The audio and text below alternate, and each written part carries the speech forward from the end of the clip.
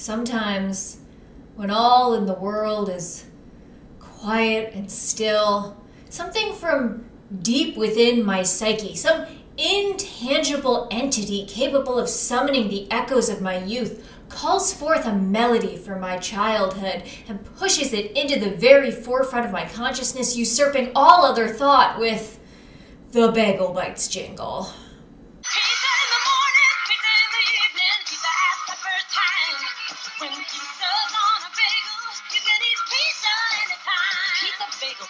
Pizzas on wholesome little bagels.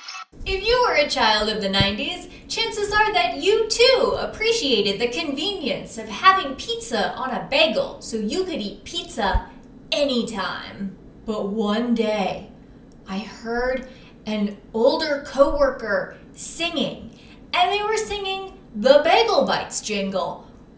But instead of the word pizza, they were singing the word sugar. And that's when I learned. Sugar in the morning, sugar in the evening, sugar at supper time.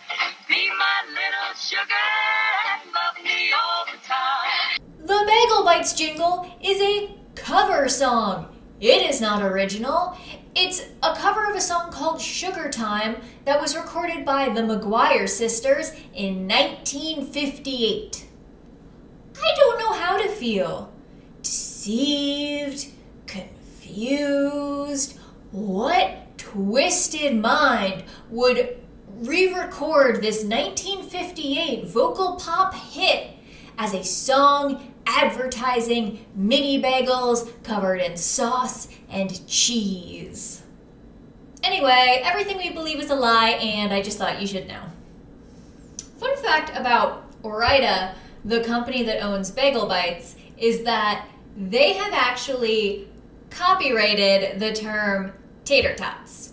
So that's why if you go peruse the freezer section of the grocery store, um, the only actual tater tots you see will be Ore-Ida brand, and everything else will be called like tater puffs, potato smileys, potato puffs, tater rounds, etc.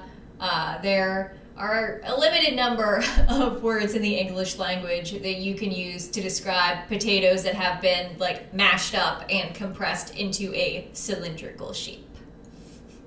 Um, I haven't eaten Bagel Bites branded snacks in like a really long time, but I have recently made my own where I purchased like mini bagels and the ingredients for pizza and just you know made those.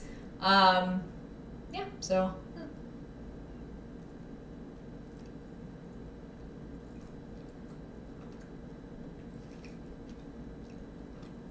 Bagel's got a weird texture. Oh. I haven't eaten bagel bright bagel brights. I haven't eaten bagel bright. no, I haven't even been drinking yet. What a weird food.